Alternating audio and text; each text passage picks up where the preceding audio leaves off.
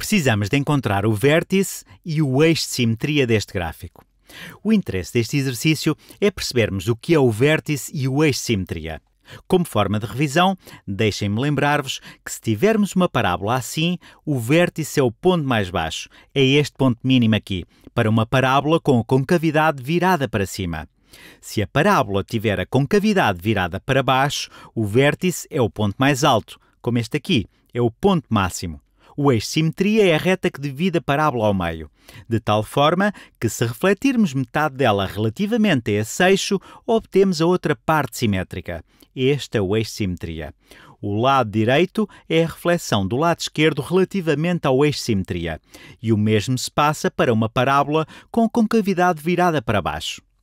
De uma forma geral, a forma de distinguir uma parábola com concavidade virada para cima de uma parábola com a concavidade voltada para baixo é que esta terá um coeficiente positivo no termo com x ao quadrado e esta aqui terá um coeficiente negativo em x ao quadrado.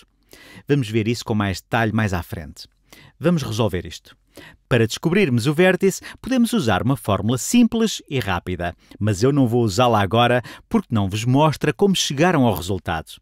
De qualquer forma, no final da resolução, vou ensinar-vos a aplicá-la para o caso sair isto num teste de matemática e queiram resolvê-lo rapidamente. Em primeiro lugar, vamos então resolver o exercício de uma forma lenta e intuitiva. Vamos pensar numa forma para encontrarmos o ponto mínimo ou máximo da parábola. A melhor forma que me ocorre para fazê-lo é completar o quadrado. Pode parecer-vos um conceito estranho neste momento, mas vamos fazê-lo passo a passo. Podemos reescrever isto como y Bem, podemos pôr em evidência menos 2. Fica igual a menos 2 vezes x ao quadrado menos 4x menos 4. Vou pôr o menos 4 aqui mais à direita. E é aqui que vou completar o quadrado. O que quer fazer é expressar isto entre parênteses como a soma de um quadrado perfeito e um número aqui. Temos x ao quadrado menos 4x. Se eu quisesse que isto fosse um quadrado perfeito, precisaria ter aqui um 4 positivo. Se eu tiver aqui um 4 positivo, isto seria um quadrado perfeito. Seria x menos 2 ao quadrado. Coloquei o 4 porque pensei. A metade menos 4 é menos 2, cujo quadrado dá mais 4. Aqui. Mas, obviamente, não posso colocar um 4 assim ao acaso num dos lados da equação. Ou coloco um 4 de ambos os lados da equação, ou somo e subtraio 4 do mesmo lado da equação. Assim não altera a equação. Somei 4 e subtraí 4. É como se tivesse somado 0 a este lado da equação. Não alterei. No entanto, o que isso me permite é expressar esta parte aqui como um quadrado perfeito.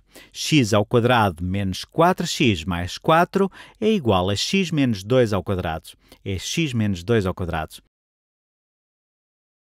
Temos este menos 2 à esquerda a multiplicar por tudo e depois temos um menos 4. Menos 4, menos 8. Assim.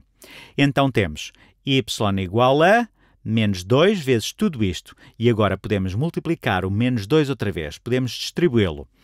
y é igual a menos 2 vezes x menos 2 ao quadrado e menos 2 vezes menos 8 é igual a mais 16. No fundo, o que fiz foi rearranjar a expressão algebricamente, mas o que isto nos permite fazer é descobrirmos o ponto máximo ou mínimo da parábola, dado por esta equação. Vamos explorar isto um pouco. Esta quantidade aqui, x menos 2 ao quadrado, se elevarmos qualquer coisa ao quadrado, vamos obter sempre uma quantidade positiva. E por isso, isto aqui vai ser sempre positivo, mas vai ser multiplicado por um número negativo. Se olharmos para o termo todo, se olharmos para o termo positivo, multiplicado por menos 2, isto vai ser sempre negativo.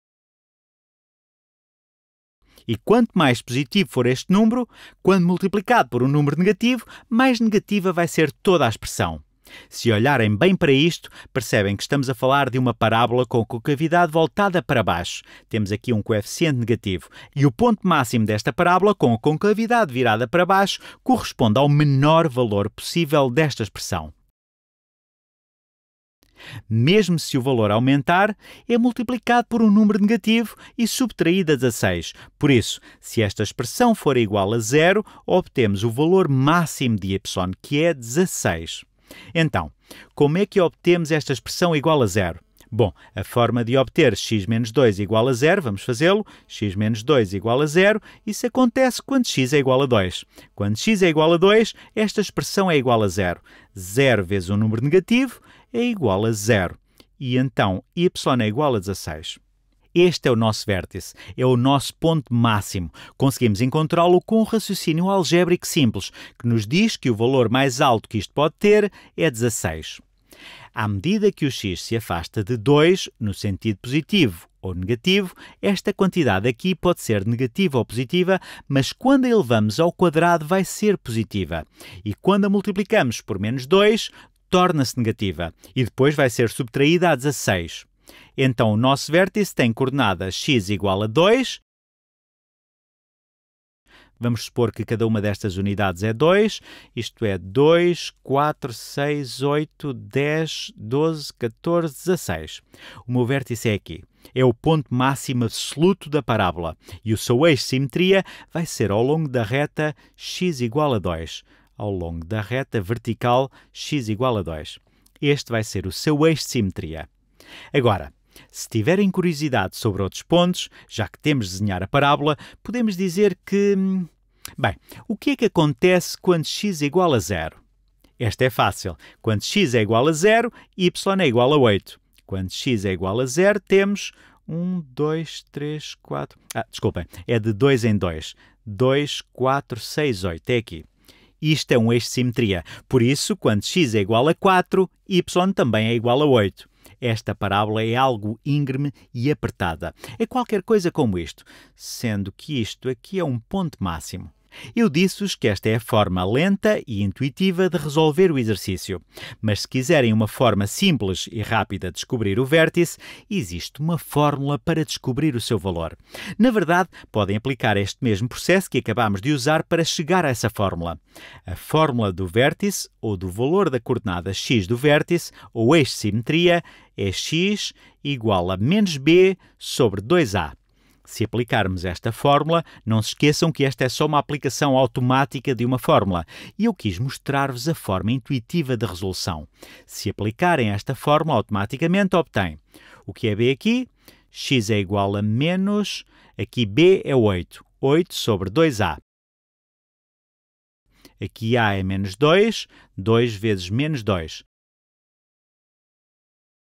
Aqui é que está igual, é menos 8 sobre menos 4 que é igual a 2, que é exatamente o mesmo resultado que obtivemos usando o raciocínio anterior. E quando x é igual a 2, y é igual a 16. O mesmo resultado que aqui. O vértice é o ponto 2, 16.